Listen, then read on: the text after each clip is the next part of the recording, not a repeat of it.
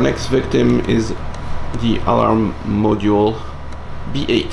So I'm supplying 14 volts to it. It's working, and here's the 5 volt. Now it's 5 volt. Oh, just sag down again. One, two, four. Okay. You have to put a lot of pressure right in the middle Across the there center. to push it down. It's gonna be That's the whole thing? There you go. mi- minus the rope. Minus a, uh, minus a few From an modules. outside view standpoint.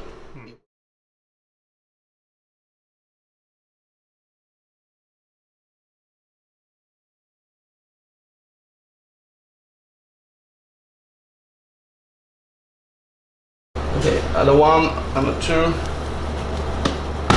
We intermediate step.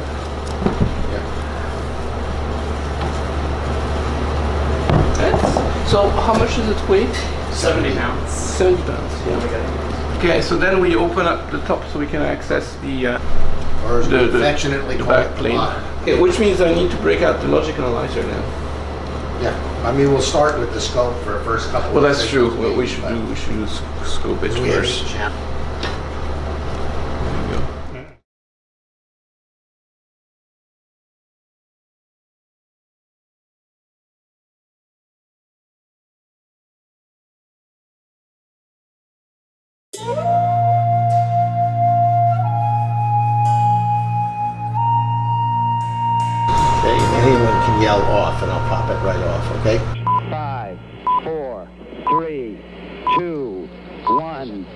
Zero.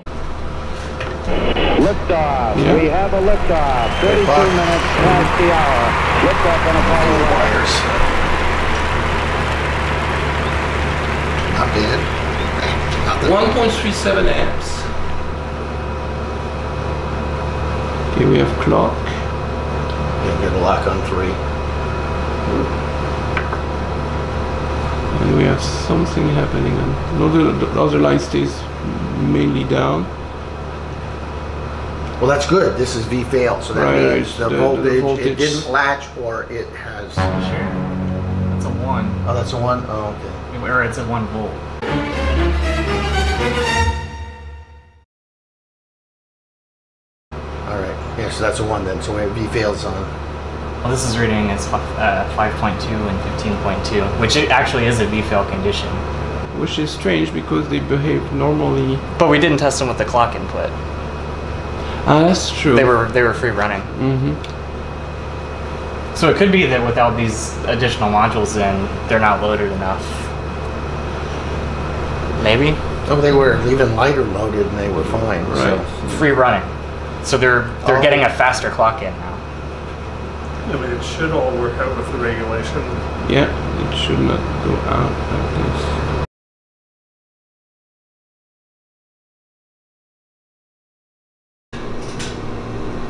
Fourteen point one two. Negligible heating on the wires. Fourteen point one oh. So they are good.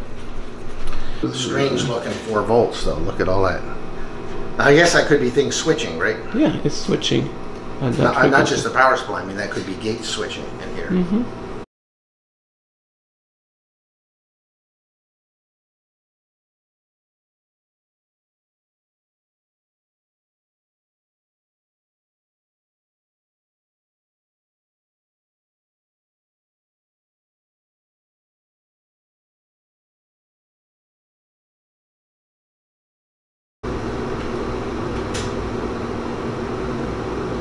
So here is start one and go jam. So it seems like we have our first signs of life in in the computer. We hooked up a second scope,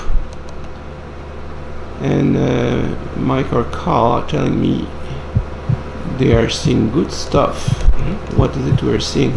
So on the bottom line here, we're seeing a parity error, uh, which is exactly what we expect to be seeing because we're running the computer without any memory. Uh, the line above it is the combined alarm gate. So the this more or less confirms that our alarms are coming from Okay. parity. Uh, and then the the blue line here is uh, the go jam. So What's the restart signal? yeah, it's the restart signal. So every time we get a parity error, we're taking a restart as expected. So that it means it's it's trying to execute something, actually f- do memory fetch, Right. Right. gets into an error and correctly restarts. Right. It's because of fatal error. Right. Well, that's good news. That's good news. The beast is sort of working. So we believe what we're going to see when we move the probes is it doing the startup instructions, which tries to do a branch to 4000, which is the restart.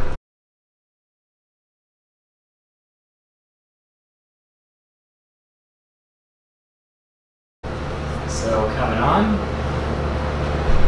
And so there's his heartbeat, Uh huh. and here it is executing the instructions Okay. and then getting the parity error. All right. So this is very anticlimactic. You just see little wiggly lines. the two lines at the top indicate that it's doing the two instructions. So we think it's working. At least the first is it's trying to bootstrap, Yep. which is pretty good. Yes.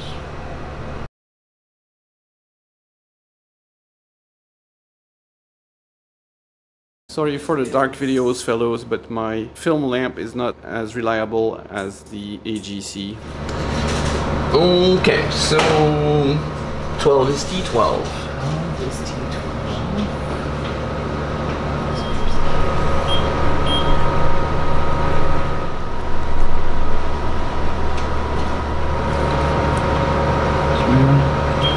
So this will be all of our clocks and sync signals. All right. Okay, so you start it and then I run, and then we'll see what happens. Okay. Okay. Three, two, one, zero. You have clock? Yeah, you have clock. Okay. It is running. Run. Stop. Yep. All right. Okay. There So let's uh, let's debrief. We have. It's almost good. One, two, three, four, five. And then we went all good except we missed pulse 4. So 4 is probably connected wrongly. And then it should re- no happen again. Oops. No, I'm missing Oh, some. you're, you're missing it. This is a capture problem with the. Okay, so maybe it's maybe 800 is too high. 800. Okay, yeah. So let me try to change it to 0.5 volts. 500 millivolts, you would say, or Uh, do, do 600. 600 He was gonna millivolts. check out some stuff. Done. Okay. It's running. Run. It's starting to make sense. Good. No. Good. Okay, that's better. We get all the pulses, and sometimes we double count. To the Master clock. This one's like And then I'm going to trigger on both. So what's your uh, Done. Okay. Try, trial number three. We might left off this time. Try again. okay computer coming on? Yep. It's good. There you go. Right. But it's not too bad for our first race here that we got all the clocking going good. We are an inch away from seeing actually a real instruction being executed. So. Some more progress. We have hooked up the second probe, which now looks at the program counter, so we can try to see what it's trying to do. And we were able to catch when it goes out of reset. So let me show that. Uh, that would be waveform. So this is when GoJam is high and it's held in the step 12 basically. So it, it, it tries T12 over and over and over again until it manages to set up the start instruction. The, okay. And then it does it, goes out of reset and goes through two instructions. And now if we look at the full listing, under where it says Z, Z is the name of the program counter, and you, you see that it goes from the maximum octal value 17777 etc. to 4001, Right. where it's supposed to start. well, it's supposed to start at 4000, but the program counter is always one ahead of the current instruction. So it's doing exactly what it should do. Yes. So that- that's that's really super comforting.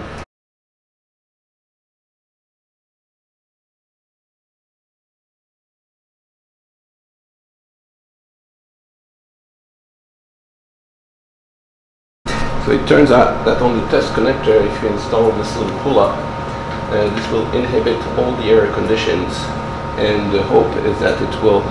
It still cannot read anything in the program, but there should be some involuntary instruction executing uh, due to interrupts and timers that are always running in the machine. So this is Yeah. uh, playing into a uh, software simulation of the AGC. Yeah. So it looks like uh, inhibiting the alarms paid off, uh, and we now go past the original uh, parity error. I made a little graphical chart.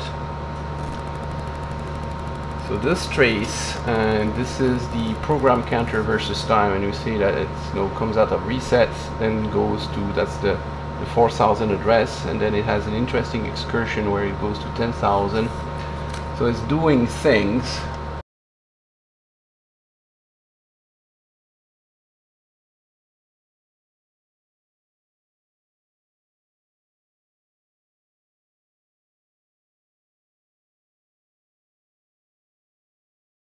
Uh, so it comes out of reset uh, times step 2 here and goes to the boot vector, so it's 4001. Uh, but now we don't restart because we ignore the parity alarm. Uh, the inc L line comes on and that's the increment line. During that time we see that the instruction register is getting something. This is an interrupt uh, 1031. 27 is going to uh, go to the interrupt vector which is 4004 gets to 4005 and at 4005 we are back in our non-existent memory so it reads 0000 which is interpreted as a jump to zero which it does.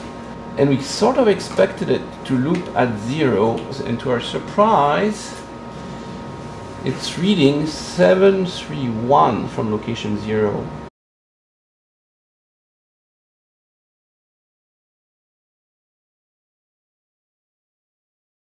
And the reason is that location 0, it's register A. And apparently our register A contains all the ones. Um, so this instruction happens to be a masking instruction. So it executes the instructions goes to 2 now on 2 it gets yet another register and this is a jump instruction. It jump to 7777 plus 1 which is 10,000 in octal. At that location we have no memory read 0 so it's a jump to 0 where it goes back.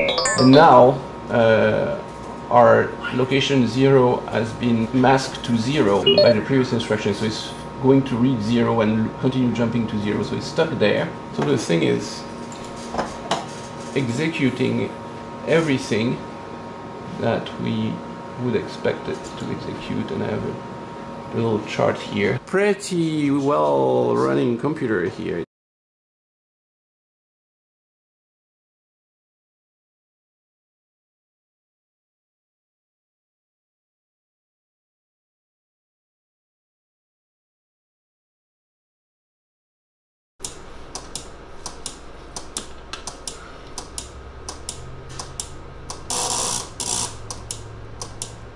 He likes having a buzz.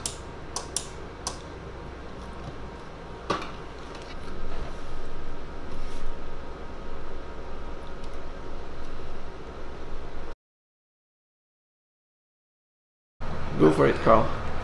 So this is something I breadboarded up to try out the functionality for a DSKY. There are some wires still loose, so some of the segments aren't lighting, but it's, It's disking with some weird numbers. well, they're, they're just stuff I put in just to show that the lights are working and test out the segments. How, how long did it take you to do that? Like two weeks or something? No, like one that? week. One week, right? So for one week, I think that's And I just pretty good. put this all, this rat's nest together an hour before I packed it. The computer will continue to display that information until told otherwise. And it's told otherwise by another verb. In this case, the verb is terminate. 34. It's now forgotten that command. Well, can you make it flash like like you had before? Oh yeah. So see, verb and noun are flashing, and it would also be flashing opera error or key release if they were going.